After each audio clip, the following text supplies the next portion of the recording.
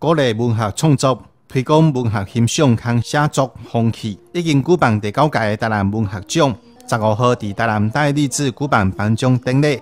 今年文学奖分为十大类组，总共有五十五件作品得到各类奖项。副局长黄石师亲自颁奖。希望透过台南的文学奖，不只是一个文学而已，而且特别针针对本土文学、针对母语的部分，给他一个更重要的地位。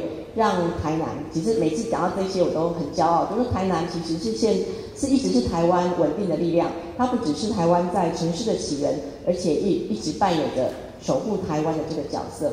那我们希望像台南文学奖这样子的奖项呢，也可以让台湾在台让台南在整个台湾的稳定的力量里面，文学的力量里面，那。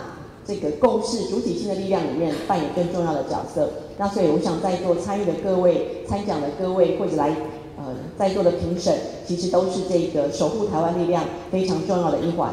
那我也相信会借由各位的参与跟各位的守护，让台南、让台湾都变得更好，都更有自己的呃有自己的信自信，也有走向国际的信心。也有面对不管任何压力或者任何困境的勇气，那我想这也是文学希望带给我们的。